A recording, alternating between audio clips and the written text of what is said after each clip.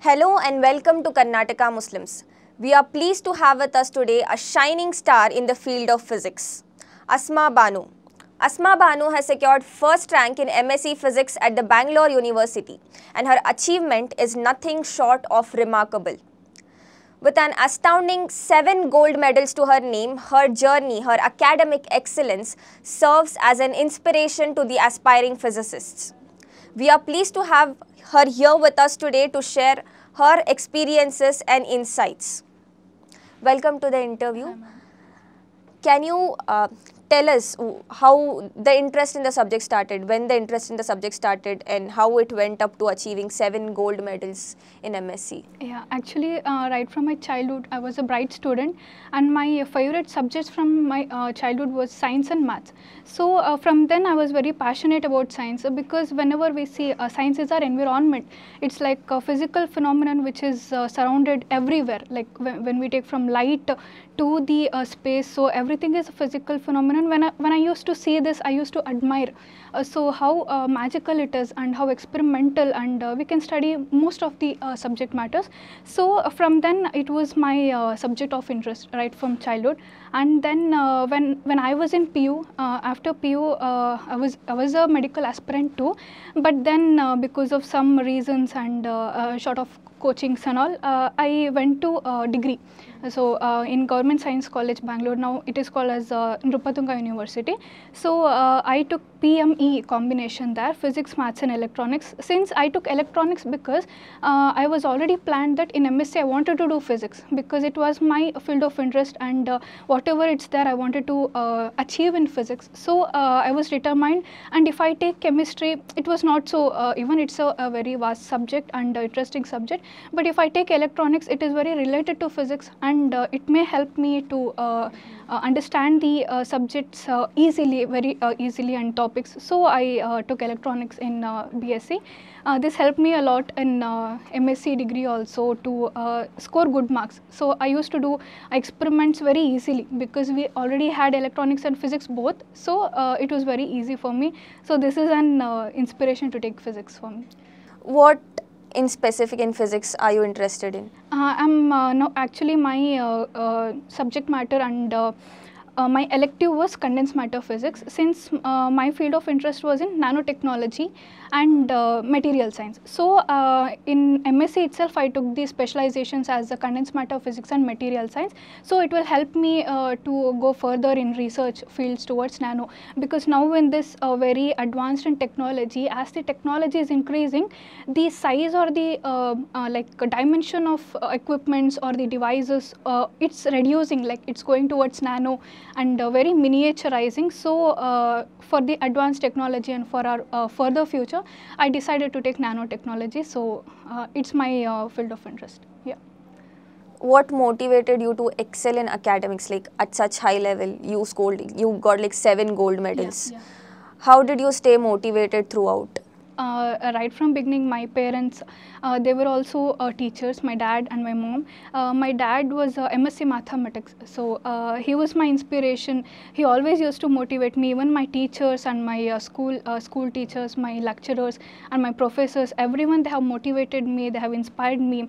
And whenever i studied a specific topic uh, and there was an uh, urge to learn more and more about that this motivated me uh, so uh, by God's grace, I have, I'm here. I have achieved this, and it was my determination that I want to secure first rank because uh, uh, I was not recognized anywhere, like in my schoolings or in my uh, college and all. So right from first day of MSc, I was determined that uh, I, I have to get first rank. I, I didn't have any idea of gold medal or uh, something, but I wanted to be uh, like a tagline of topper of physics department. It was an urge to become, so it motivated me a lot. That's so good to hear. Yeah. And uh, did you have to face any kind of challenges? Yeah. How did you overcome them? Yeah, actually, during my MSc final sem, and it was also a lockdown uh, since everyone known. And during my final sem exams, I, I lost my dad uh, just before a week of my exams. Uh, and I was really not ready to face my examination because I was in autonomous college, and to get seat in university, you have to get top rank and uh, you have to get the highest marks. So only two or three seats were allotted for university, and I was really uh, like confused and uh, I didn't know how will I face this. But then I remembered my mom needs me and even even my dad's dream is that I, I have to achieve something. I have to uh, uh, like be a professor. Even he was uh, uh, his dream was to me to become a professor or a scientist. So that motivated me and uh, because of him his blessings i did it. Yeah.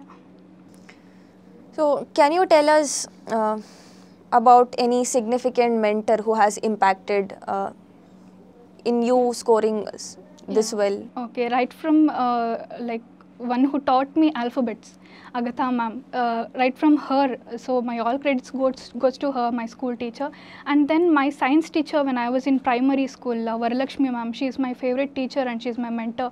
She has been uh, her her way of teaching, her techniques uh, that influenced me a lot to uh, go towards science. Then uh, when I uh, when I came to PU and colleges, Prasad Reddy sir, he is the syndicate member of Nrupatunga University now.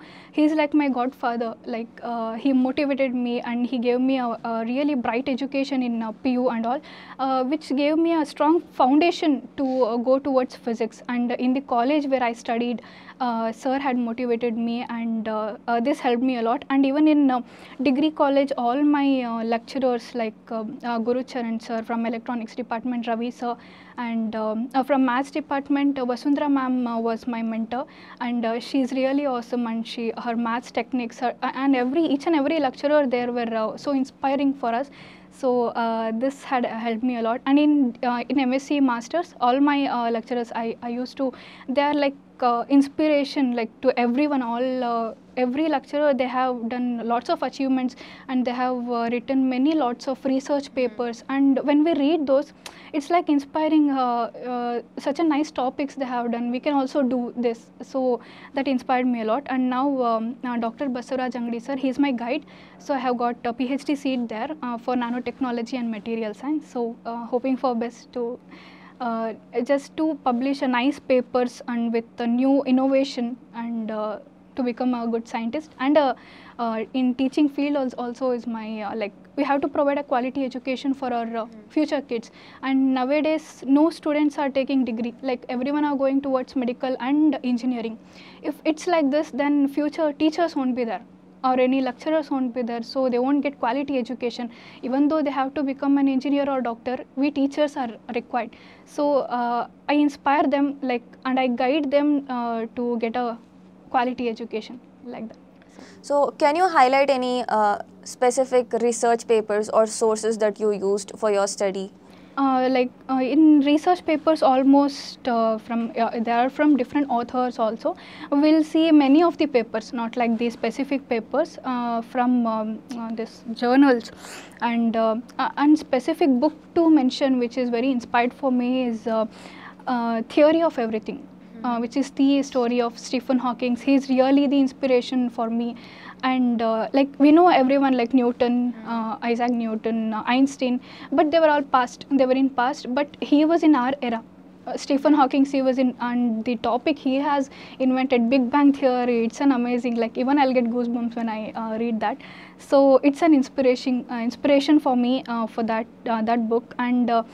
And I was not so into many books or uh, any novels because I was completely concentrated towards uh, academics. So uh, most favorite topics are quantum mechanics, which is also a difficult one. Yeah, I know. Even if it exhausts, we have to be revising it. Uh, we have to be doing it. And um, yeah, classical and quantum, everything. It's it's amazing. Physics is amazing overall. yeah, thank. Um, can you tell us more about your future aspirations? Yeah, uh, in future now already have uh, got the seat. I'm waiting for the classes. So uh, in nanotechnology, uh, I'm uh, CMOS and uh, like ICs, integrated circuits, which are like to miniature it more, and even for transparent conducting diodes and all these optical and structural properties of thin films and metal oxides and my i would like to do research in that topic then i want to become a scientist too uh, inshallah in uh, ISRO. it's my uh, inspiration to like uh, it's an urge to become an, a scientist there. Like when we see Chandrayaan 2 and 3 and all the live telecasts, and they are really like uh, motivation. And we can receive that inspiration. Like even we have to work there. When we have to identify as a scientist. So uh, I want to become a scientist and also a assistant professor. Yeah, that's my aim. And uh, apart from academics, uh, do you think uh, are there any extracurricular activities that have molded your personality overall? Uh, yeah, obviously, uh, painting is my heart, and uh, like art and uh, paintings and uh, sketchings, uh, they have motivated me, and also we'll feel fresh when we do it. Like whenever it's sleepy or something, we have I used to do that. So. Uh, that refreshment we need like whatever the co-curricular activities like not even for me even for my uh, juniors or uh, the future kids i would like to say that uh, please do follow their talents. If they'll uh, follow their talents and they'll uh, uh, uh, do it in, in their hobbies even they'll get uh, a bit refreshment for them and they'll study well uh, with that. So painting is my uh, passion. Yeah So for the people who are aspiring to be physicists, who are uh, who want to grow in this field, as a topper in physics, what is your message to them? uh, my only message is to understand the topics. Uh, don't try to by it. Like it's it's of no use. Even if you'll write the exam you'll you'll do the derivations and then right after you'll step out of the exam hall you'll exhaust it you'll forget it. It's it's of no use. Just uh, try to understand every topic because it's physics is really flawless if you'll understand it and you'll uh, understand and try to practice not only like reading uh, whatever you read you try to uh, write it and practice it without saying. so and, and also for juniors and I, I would like to say uh, they'll prefer to read question papers like previous question papers if we'll read this much it's enough now. Uh, whenever we'll seniors are there their only question is ma'am if we'll uh, study the previous question papers is it enough to pass?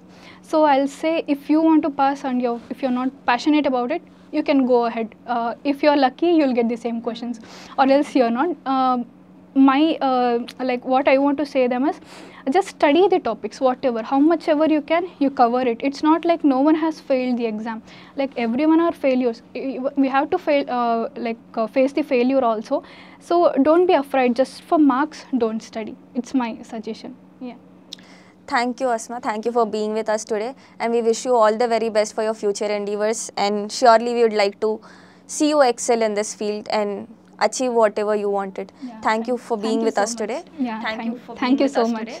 We were speaking to Asma Banu, a topper in MSc Physics. She shared her insights into her remarkable journey. We wish her all the very best for her future endeavors, and surely we would like to see her excel in her field. Thank you. This is Alia Amreen for Karnataka Muslims.